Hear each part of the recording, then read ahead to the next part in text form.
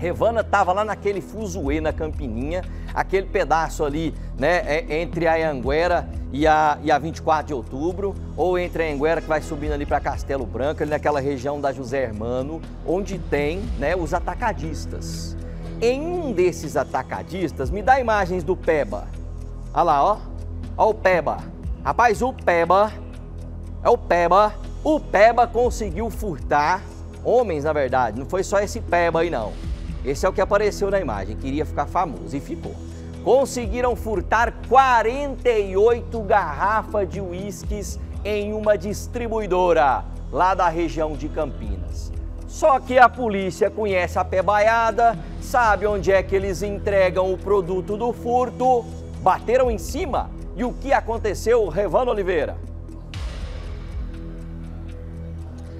Oi, Branquinho. Então vamos contar essa história. Os envolvidos, que são dois, além desse aí que você mostrou na imagem, teve um outro comparsa também que estava dando apoio até para que eles conseguissem carregar essas 48 garrafas de uísque. Esses ainda estão foragidos os que foram presos, né, dois são os comparsas, mas daqui a pouquinho a gente vai contar essa história. Então, essa atacadista de bebidas, fica aqui na região de Campinas, foram 48 garrafas de uísque como esta aqui, né? Esses bandidos, esses criminosos, eles entraram por volta das 4 horas da manhã na atacadista, arrebentaram uma janela para poder conseguir então fazer esse furto. E o Vinícius, que é o proprietário, vai contar para a gente como isso aconteceu. Muito boa noite para você. Vinícius, conta para mim então, foi em outro local, no segundo andar. Descreve, eles arrebentaram então essa janela. É isso mesmo. Boa tarde, Branquinho. Pois é, aqui a situação se repete. É a terceira vez só esse ano que isso acontece aqui. E eles entram para tudo quanto é lado, né?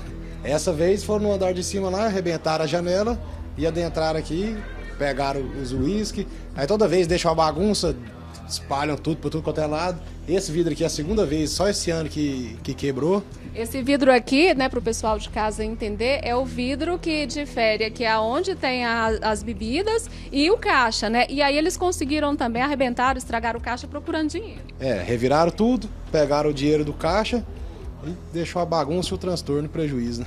Você me falou que aqui é comum esse tipo de furto, até fios o pessoal rouba, eles agora levaram fios também para do climatizador? É, isso aí. O pessoal é as marcas carimbadas, né? O pessoal em situação de rua, sempre que tem fio, eles roubam. E é os, é os que mais dão trabalho aqui, esse pessoal em situação de rua aqui em Campinas. E não só eu, né? quase todos os comerciantes aqui já tiveram transtorno com eles. E aí a gente estava contando que foram os comparsas presos, né? Agora tem novas imagens, né? Que os policiais vão ter acesso ali que mostra o comparsa que você acredita agora que ele vai ser. E os dois, né? Serão deixados. É. Tem o pessoal da PM aqui, já fez uma, uma ação muito rápida ali. Eu queria agradecer o Cabo Júnior, o Cabo Sena, que eles vieram aqui já conhecia geralmente o pessoal, né? Só a gente mostrar imagens, só que o pessoal tá aí solto do mesmo jeito, né? A gente quer saber uma resposta para ver o que, que, vai fazer com eles, porque todas as vezes são praticamente as mesmas pessoas situação de rua. Muito obrigada, Vinícius. A gente vai agora conversar com a polícia, então, para ter um pouco mais de respostas, Branquinho, a respeito desse caso, né? Você vive falando aqui da região de Campinas, já fez várias matérias, inclusive ali na, na região ali da, da praça principal, e você sabe muito bem que é um problema muito complicado é, dessas pessoas aqui na região. A gente vai conversar agora com o Tenente Lopes para poder contar, então, os detalhes de como foi a abordagem desses comparsas até a prisão. Muito boa noite para o senhor. Primeiro se encontrou uma pessoa com uma mochila nas costas.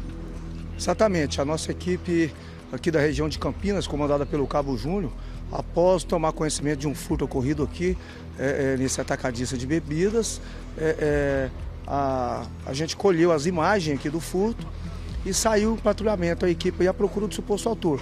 Mesmo com a cabeça coberta, como mostra nas imagens, a nossa equipe saiu intensificando o policiamento, procurando aí, abordando várias pessoas e conseguiu é, é, abordar aí uma pessoa em atitudes suspeitas, aqui mesmo, próximo aqui, a um km aqui do local. E ao, e ao verificar a sua mochila nas costas, foi encontrado dentro da mochila, do interior da mochila, é, duas garrafas de bebidas. Duas garrafas de bebidas de marca, da mesma marca que foram furtadas aqui, da, das 48 unidades que foram furtadas aqui. Então a nossa equipe, em entrevista com o mesmo, ele confessou que teria comprado essa bebida aí de um outro morador de rua por apelido de cigano e citou para a gente até o local onde ele poderia ser encontrado. E aí vocês foram até lá? Exatamente. A equipe do Cabo Júnior, como eu disse, conhece aqui 80% aqui dos moradores de rua dessa região de aqui de Campinas. Então deslocamos aí até o ginásio de Campinas e lá foi abordado esse outro suposto autor aí.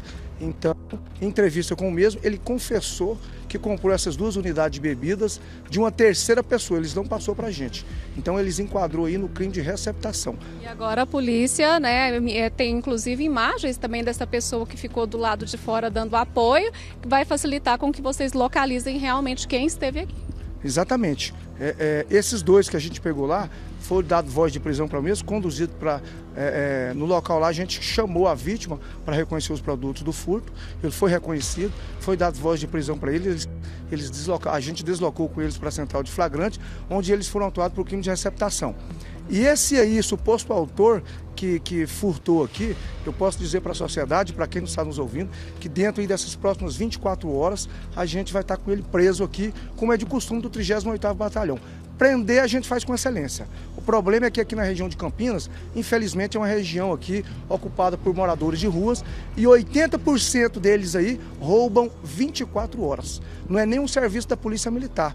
Morador de rua é, é um serviço social é função da assistência social, mas que cai aí na mão da Polícia Militar. estamos prendendo aí com excelência. É, é, todos os dias aí já foi, hoje mesmo já foi várias prisões que aconteceu todos é encaminhado. Você pode ver que todos têm passagem, todos já foi preso. Mas aí o sistema, o judiciário solta no outro dia. Então, assim, a gente não discute aí a, a decisão do judiciário. Mas a nossa função, eu repito, o 38º Batalhão faz com excelência, que é prender aí esses moradores de rua criminosos. Tá certo. Muito obrigada pela participação, Branquinho. É borracha nessa pé baiada. Agradeço aí ao Tenente Lopes e o pessoal do 38º Batalhão cuidando aí da nossa região de Campinas, região central também. Valeu, Revana!